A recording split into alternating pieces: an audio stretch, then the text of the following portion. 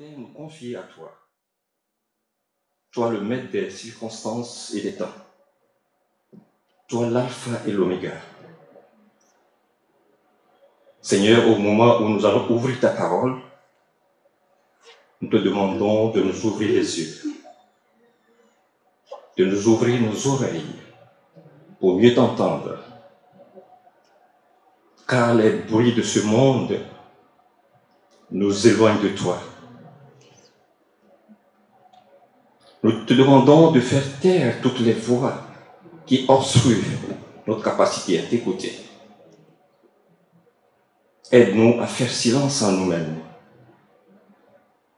afin que tu puisses nous parler, parler à notre cœur. Seigneur, nous te demandons de nous révéler les profondeurs cachées de ta parole, afin que nous puissions nous l'approprier. Seigneur, viens et parle à notre cœur. Amen. J'ai choisi de nous entretenir ce matin par un court texte, un texte de notre Seigneur Jésus-Christ. Comme un bon pédagogue, un bon stratège, il parle très souvent au travers d'une parabole. Donc c'est ce que j'ai choisi dans l'évangile de Luc au chapitre 18, les versets 9 à 14. Luc chapitre 18, les versets 9 à 14. Je lis dans la version du Semeur.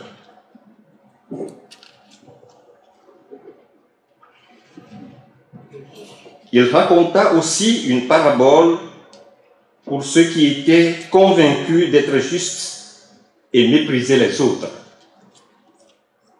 Deux hommes montaient au temple pour prier, un pharisien et un collecteur d'impôts. Le pharisien, debout, faisait intérieurement cette prière. Ô Dieu, je te remercie de ne pas être avare malhonnête, adultère comme les autres hommes, et en particulier comme ce collecteur d'impôts là-bas. Moi, je jeûne deux jours par semaine. Je donne 10% de tous mes revenus. Le collecteur d'impôts se tenait dans un coin retiré et n'osait même pas lever les yeux au ciel. Mais il se frappait la poitrine et murmurait Ô Dieu, aie pitié du pécheur que je suis. Je vous l'assure, c'est ce dernier et non pas l'autre qui est rentré chez lui, déclaré juste par Dieu. Car celui qui s'élève sera abaissé, celui qui s'abaisse sera élevé. Amen.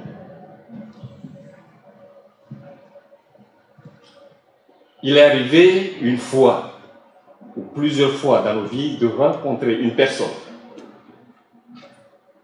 un homme ou une femme humble, une personne qui ne sait pas de se mettre en valeur par tous les moyens,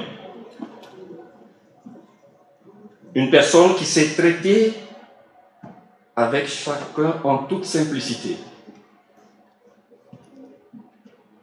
Une personne qui sait donner de l'importance aux autres avant de s'en donner à soi-même. Bref, quelqu'un avec qui on a du plaisir à passer du temps. Chers frères et sœurs en Christ, nous voici devant un texte au regard duquel le Seigneur Jésus a voulu mettre en lumière le thème de l'humilité. À ceux qui sont venus l'écouter et qui se prévalaient d'être justes et qui méprisaient les autres. Le Seigneur Jésus a voulu montrer combien l'orgueil et la confiance en soi s'oppose à l'esprit de grâce. Dans cette parabole qui est propre à, Luc, nous voyons deux hommes qui priaient dans le temple, mais de manière fort différente. L'un pharisien et l'autre collecteur d'impôts.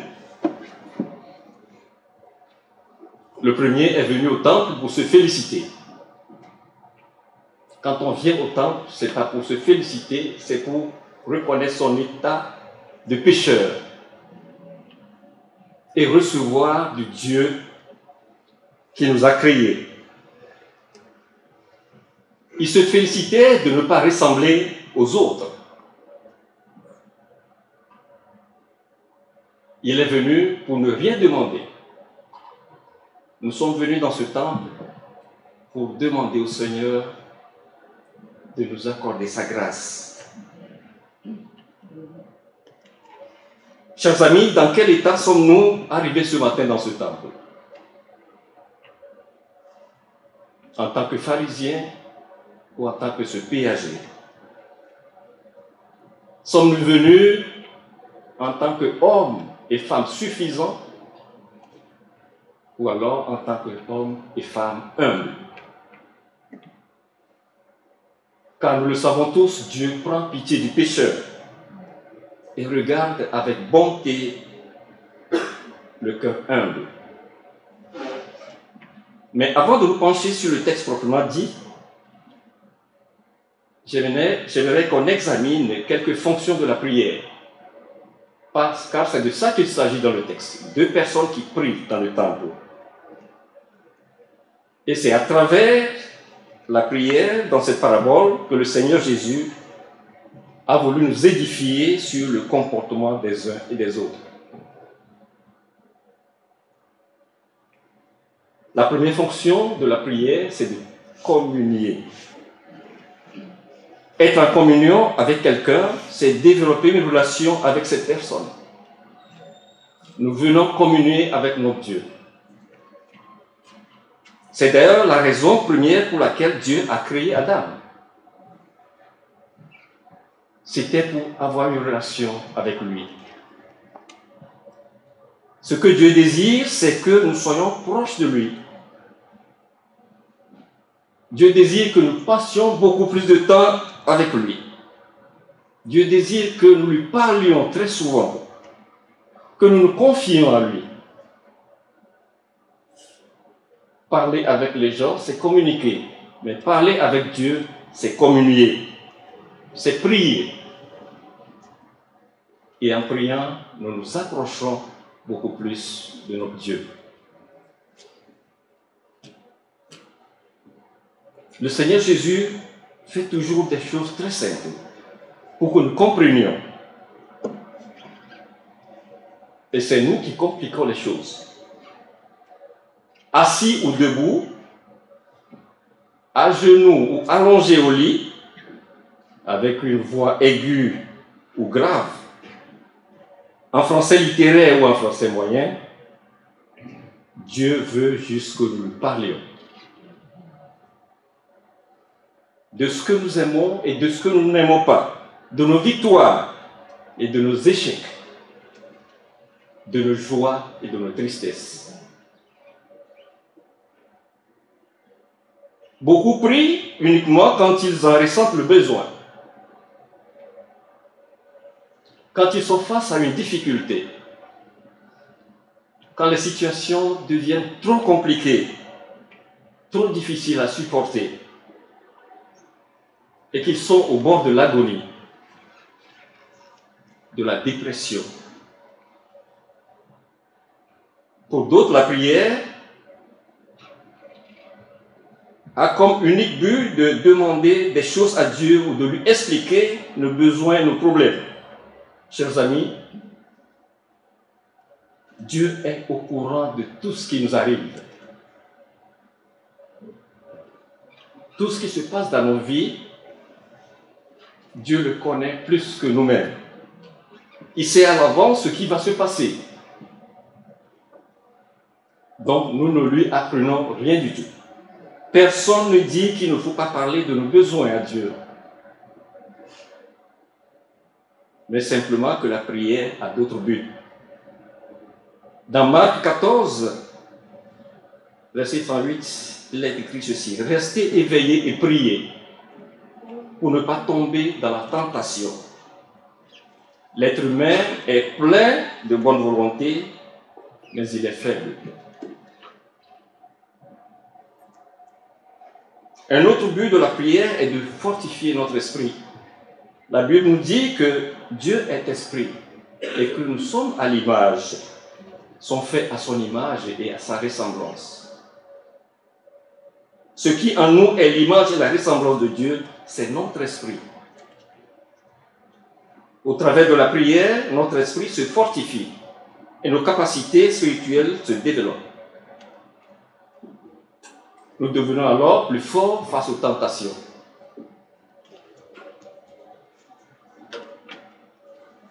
Tout cela est produit par la prière car elle renforce notre esprit. Et plus notre esprit est fort, plus notre chair est sous contrôle.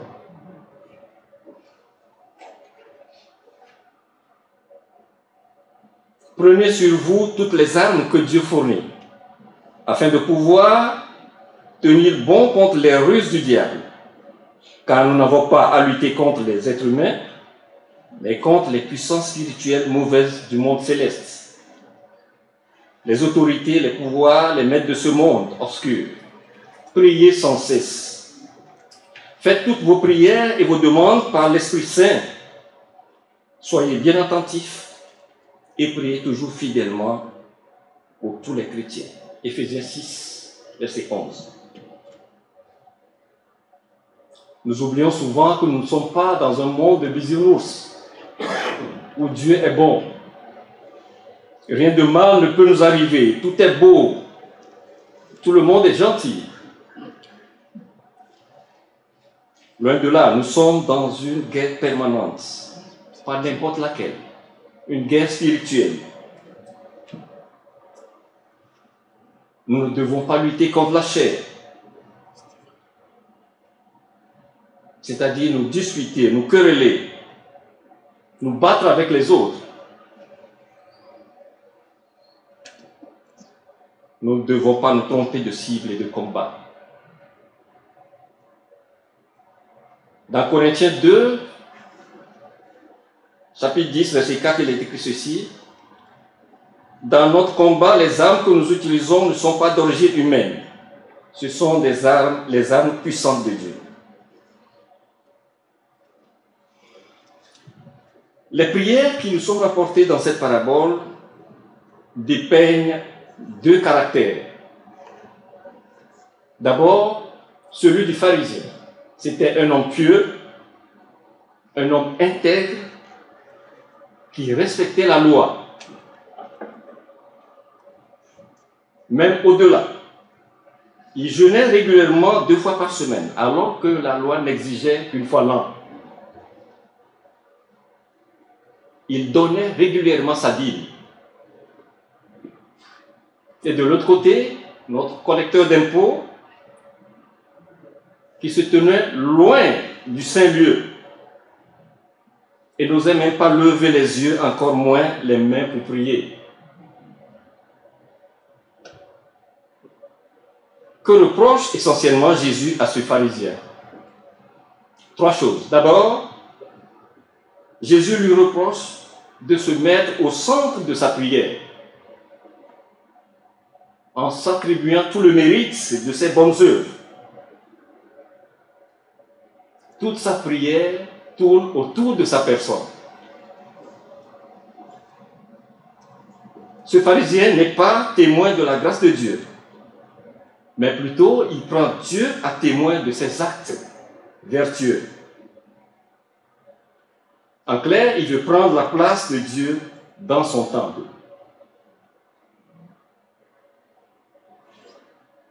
Jésus lui reproche aussi de se considérer comme juste. Ensuite, son orgueil l'avait aveuglé au point de lui faire oublier qu'aucun être humain ne peut se considérer comme irréprochable devant Dieu. Il s'est présenté comme un homme parfait. Mais le Seigneur n'a pas reconnu sa justice. Puisqu'il est venu sans rien demander. Quand on ne demande rien, on ne reçoit rien. Enfin, le Seigneur, Jésus lui reproche de regarder avec mépris ceux qui ne sont pas comme lui. Il est dressé dans sa suffisance d'homme juste. Il s'érige en juge des autres. Mais dans sa prière, il ne peut s'empêcher de rabaisser ceux qu'il considère comme de misérables pécheurs. L'orgueil pharisien présentait à Dieu sa propre justice. Il se vantait de ce qu'il est, de ce qu'il faisait.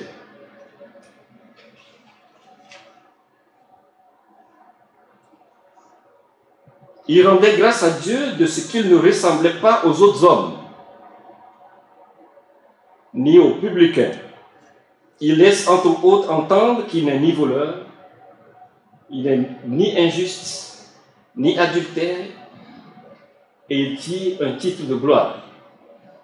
Chers amis, le moralisme finit toujours par le jugement d'autrui. Or, nous ne sommes pas appelés à juger, mais à aimer, car il est dit dans Matthieu 7, verset 1, ne jugez point afin que vous ne soyez point jugés.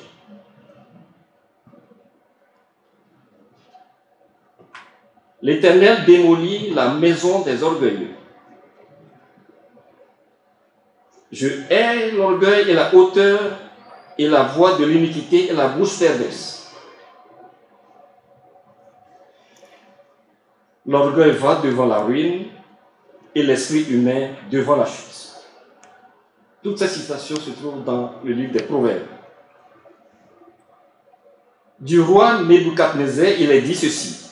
Mais quand son cœur s'éleva et que son esprit s'endurcit jusqu'à l'orgueil, il fut précipité du trône de son royaume et sa dignité lui fut ôtée. Dieu résiste aux orgueilleux et il donne la grâce aux humbles. Car voici le jour vient, brûlant comme un four, et tous les orgueilleux et tous ceux qui pratiquent la méchanceté seront du chaume. Et le jour vient les brûlera, dit l'Éternel des armées, de manière à ne leur laisser ni racines ni branches. Nous pouvons multiplier toutes ces citations dans les Saintes Écritures, car il en existe un bon nombre. Mais à l'inverse de ce pharisien, on nous présente ce collecteur d'impôts qui est dans une attitude humble.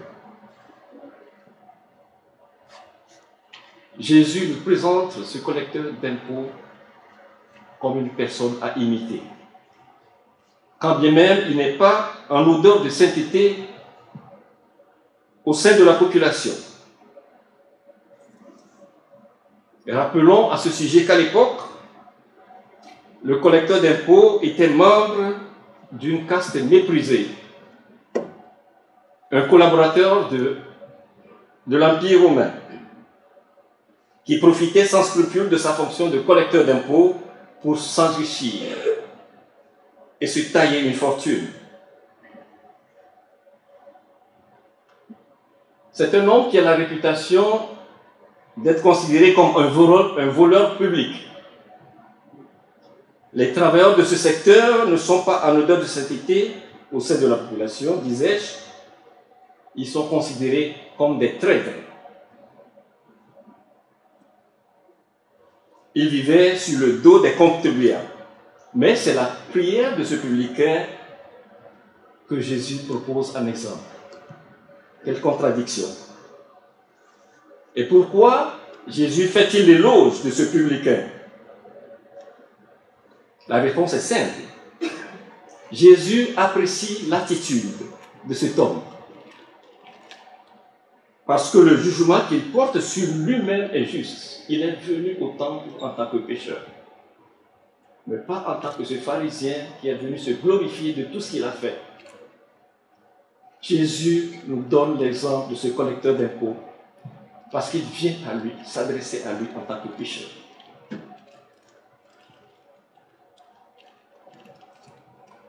Cet homme est très lucide. Il ne vient pas chercher à se grandir aux yeux de Dieu. Il est conscient de ses limites. Il ne se mesure pas aux autres. Vous avez pu le remarquer, il ne détaille même pas ses péchés. Puisque le pharisien l'a déjà fait à sa place. Si le pharisien regardait en arrière pour admirer ses œuvres, le collecteur d'impôts regarde plutôt vers l'avenir pour demander la grâce de mieux faire. Il voit la distance entre ce qu'il est et ce qu'il devrait être et fait appel à la miséricorde de Dieu pour s'engager dans cette nouvelle voie. En proposant cette parabole, Jésus veut tout simplement nous rappeler une fois encore que Dieu préfère un pécheur repentant à un juste méprisant. Sa bienveillance va spontanément à celui qui reconnaît qu'il n'est rien et non à celui dont la prétention devient un obstacle à la grâce. Certes, le pharisien a beaucoup de qualités. Nous l'avons vu tout à l'heure. Il prie, il donne la dîme, il est bien meilleur. Mais il lui manquait l'essentiel. L'humilité. L'humilité qui est un pas vers Dieu. Soyons humbles quand nous venons au temple pour nous adresser à Dieu reconnaissons notre état de pécheur. Frères et sœurs, chacun de nous a un bout de pharisien en soi. Car il est très facile de se sentir supérieur aux autres d'une manière ou d'une autre. Tout en étant aveugle à ses propres défaillances. Le pharisien se croyait déjà être au sommet de la perfection. Dès lors, comment pouvait-il encore monter? Si on est déjà au sommet, il n'y a pas moyen de monter encore. C'est ce qu'il est venu au temple faire. Qui s'abaisse sera élevé et qui s'élève sera abaissé, conclut le Christ, en nous rappelant ce paradoxe. C'est en s'abaissant que l'on monte vers Dieu. C'est en prenant conscience de toute sa misère que l'on peut grandir sous le regard du Père. La tentation serait grande de faire instinctivement un choix entre le pharisien et le collecteur d'impôts.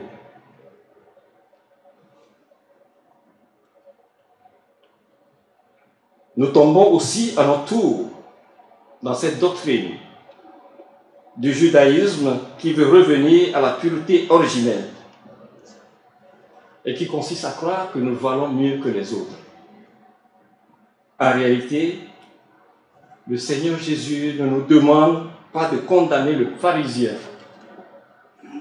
mais plutôt d'éviter son orgueil. Chers amis,